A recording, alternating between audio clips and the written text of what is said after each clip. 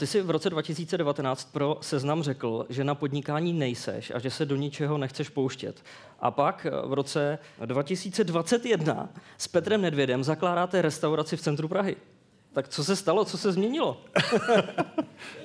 tak uh, ono to není úplně nějaký, nějaký, nějaký podnikání velký. My jsme to už měli uh, v hlavě dlouho s Petrem, my jsme to chtěli udělat a spíš jsme to udělali takovou, my jsme měli představu takovou, že to bude, že to bude prostě klubovna pro naše kamarády, pro, pro, pro, pro hokejisty, pro fotbalisty, pro sportovce prostě, aby přišli na dobrý, na dobrý jídlo, na dobrý pivo. Aby vás nefotili paparaci, jo?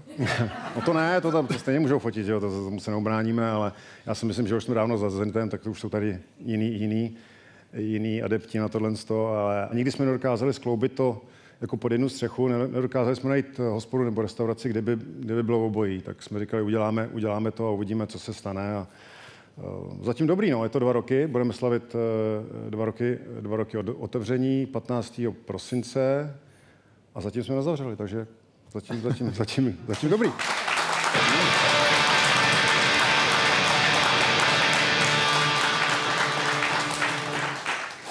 Chodíte na pivo ještě někam jinam? Jo, tak samozřejmě jdeme, ale uh, jdeme různě. Máme takový ty svoje místa, který, který obrážíme, který máme rádi, uh, ve kterých se budeme pohybovat pořád.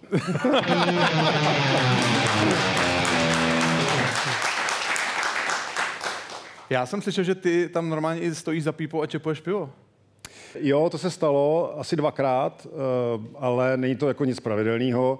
Mě to baví, protože já mám ten samý systém vlastně i, na své chatě když přijdou kamarádi, tak aby to pivo prostě bylo, aby pivo bylo dobrý, studený a kvalitní. A stalo se, stalo se taková věc, že oba naši výčepáci, kluci, eh, jeden onemocněl, druhý nemohl do práce, tak eh, zbýval, zbýval jsem akorát já, tak buď to zavřem na dva dny nebo na tři dny, až se ten jeden zdraví, nebo, a nebo tam půjdu, nebo tam půjdu si stopnout já, jsem tam byl asi tři dny. A musím teda říct, že, že to není nic jednoduchého. Já nevím, ty jsi to asi neskoušel nikdy, ale stát tam, jakoby, stát tam nějakých 12 hodin nebo kolik a, a starat se o to taky, není to úplná sranda. Šel jsem tomu teda zbytej jak kůň, bolely mě záda, bolelo mě celé tělo a nikdy bych neřekl, že je to tak náročný.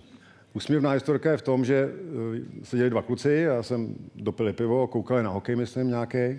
Já jsem za ním šel, vzal jsem si ty půl litry prázdný a říkám, kluci, dáte se ještě dvě. On jak mi koukal, říká, no jako my jsme si dali, nám je to strašně blbý.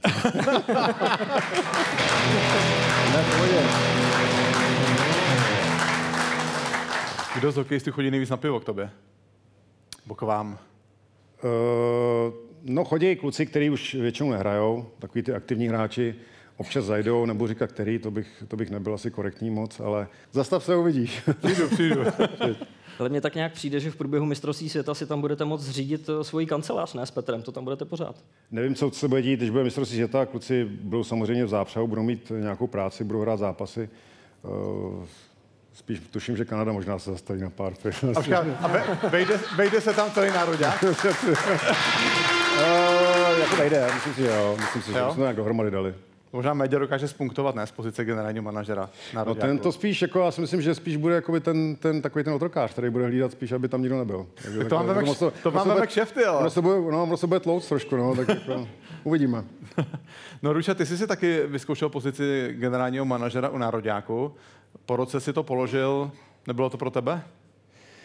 Uh, tak já jsem, já vždycky říkám, že jsem byl strašně rád za tu, za tu zkušenost. Uh, jsem za to vděčný. Uh, děkuji Českému svazu, že mi tu možnost dal. Ale v finále jsem zjistil, že to není úplně to, co takový to pravý ořechový, nic pro mě. A byl jsem tam prakticky rok a tři čtvrtě nebo rok a půl, tuším. A pak jsem šel, pak jsem odešel, teda poděkoval jsem samozřejmě všem za tu možnost, ale nebylo to úplně, nebyla to úplně práce pro mě, jsem zjistil a to, že jsem, že jsem se zase odsunul do důchodu. Co se ti na tom nelíbilo? Uh, tak v té době uh, ten generální manažer neměl úplně takový ty, ty pravomoci, jako má třeba Petr Nedvěd teďkon. Byla to úplně jiná práce, člověk strávil hodně, uh, hodně času na telefonu, musel jsem ty kluky obolávat, byl s nimi v kontaktu a prostě nebylo to, nebylo to něco, co mě úplně naplňovalo. Dělal jsem to rád samozřejmě, ale jako do budoucna jsem si říkal, není to něco, co bych jakoby nad čím, nad čím bych chtěl trávit jako úplně čas.